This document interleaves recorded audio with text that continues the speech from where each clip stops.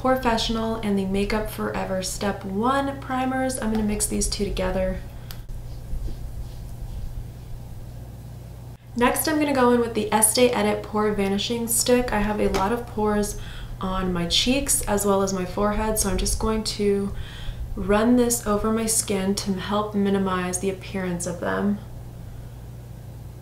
For my foundation, I'm going to go in with the Maybelline Fit Me Matte and Poreless, and I'm also going to mix in the Beam Team product from the Estee Edit. This is just going to give me a nice glow to the foundation rather than just being flat and matte. e.l.f. Cosmetics Sponge, just going to mix a little bit everywhere. And if you see me looking to the left, I have one of those gigantic magnifying mirrors right next to me, so that's how I'm going to know if this looks blended or not.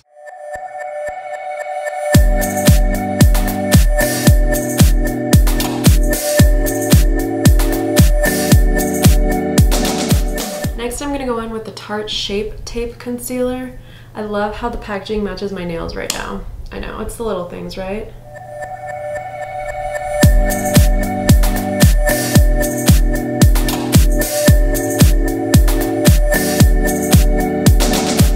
And you saw me put my foundation kind of on my eyelid. I also put this. So there's multiple layers being put on my eyelids because I want my look today to kind of last throughout the day and the only way to do that is to add multiple layers of coverage.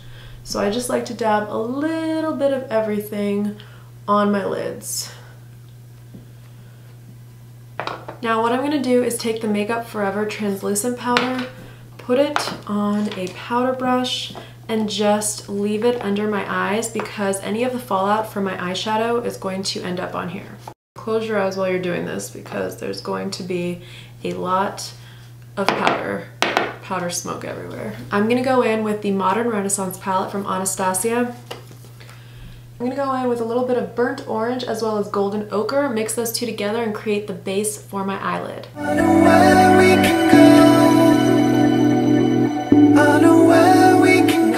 orange is just such a nice, beautiful color, so perfect for fall, and these shadows are so incredibly pigmented and so incredibly creamy, it's amazing. And then I'm going to apply Primavera to the main portion of my lid. I'm actually going to use this Anastasia brush that comes with the palette. See how this brush works. Works pretty well. It's not as good as some of my other flat brushes, but it works pretty well and it comes with the palette, so that's nice. Okay, I'm gonna go in with the Sigma E38, just kind of blend everything out. Ensure those edges are not harsh. I'm gonna take the Morphe MB27, it's basically a pencil brush, and I'm going to dump it into Venetian Red and a little bit of Love Letter. These two colors are going to go in the outer crease of my eyelids, so I'm just gonna tap this off so we don't get crazy.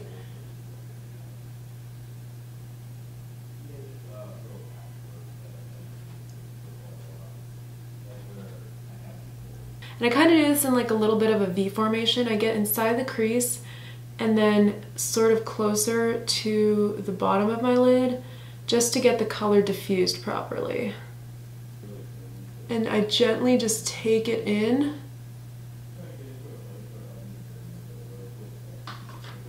Okay, now that I have a Venetian Red and Love Letter on my lid, I'm gonna go back in with the Sigma E38, just blend, blend, blend all of this out, make it look much more natural and like it belongs. I think the key to beautiful eyeshadow is truly blending. I've been learning that over the past few months.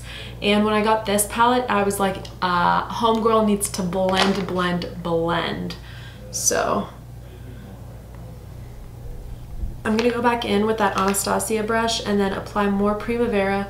Just pack it back on to that inner corner and just kind of let it transition over into the love letter in Venetian red. But I just want to make this front just a little bit more intense.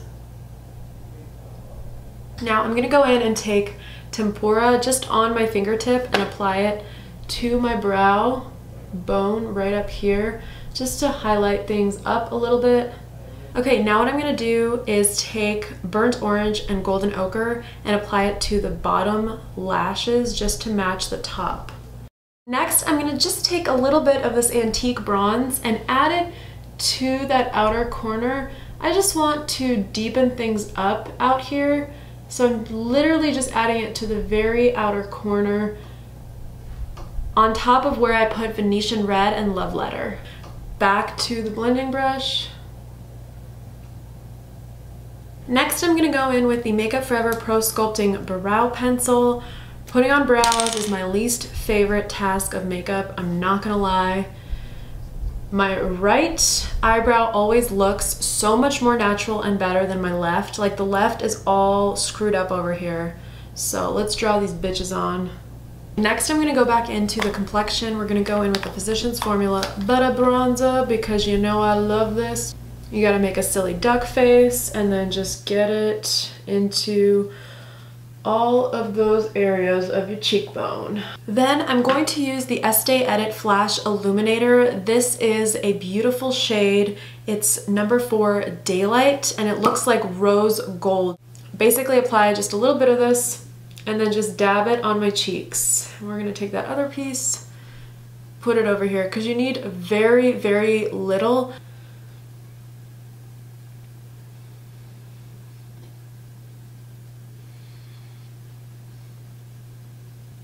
And I always like to go back in with my Beauty Blender just to kind of make sure everything's blended well and kind of fits my skin. Now for my favorite part, the Anastasia Beverly Hills Glow Kit. I'm about to douse my face in Sunburst right here. Yes, yes, yes. Are you ready to see this pop? I'm about to show you popping. Boom! Don't let me blind you. We're gonna go back in underneath the brow. More. I'm going crazy now. More. We're gonna put a little bit on the nose.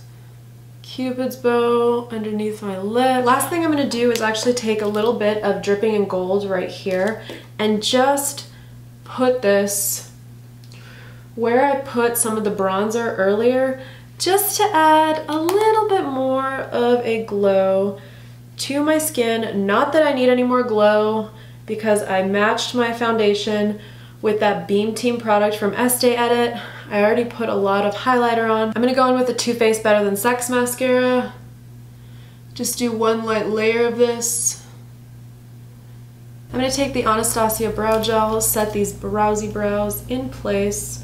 My right one is always so much more beautiful than the left. I'm gonna go in with the BHUE Pink Rose Liquid Lip. This liquid lip is the one that I've been wearing in all of my Instagram photos where I have a beautiful light pink lip.